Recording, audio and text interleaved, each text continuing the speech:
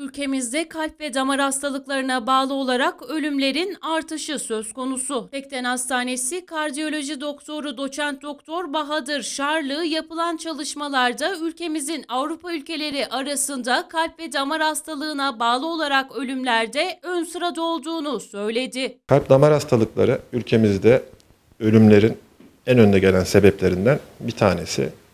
Yapılan çalışmalar Avrupa ülkeleri arasında ülkemizin kalp damar hastalığına bağlı ölümlerde ön sıralarda olduğunu göstermekte. Kalp damar hastalığı kalp kriziyle sonuçlanabilmekte, kalp yetersizliğiyle sonuçlanabilmekte. Ee, önlenmesi ve tedavisi mümkün olan bir hastalık.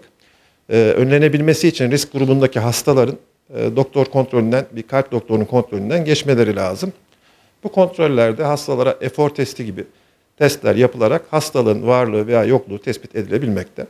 Daha ciddi şüphe duyulan hastalarda el bileğinden yapılan anjiyo işlemiyle bu hastalığın net bir şekilde olup olmadığı söylenebilir. Yine el bileğinden işlemlerle veya cerrahi ile hastalığın tedavisi mümkün.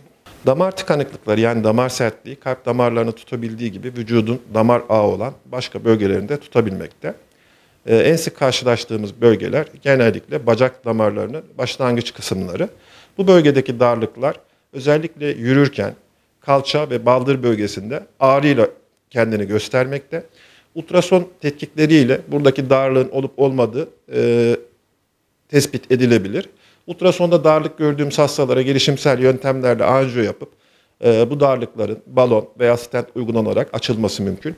Yine boyun damarını tutan darlıklarla karşılaşabilmekteyiz. Buradaki darlıklar daha ciddi e, sonuçlarla karşımıza gelebilmekte, inmeye neden olabilmekte.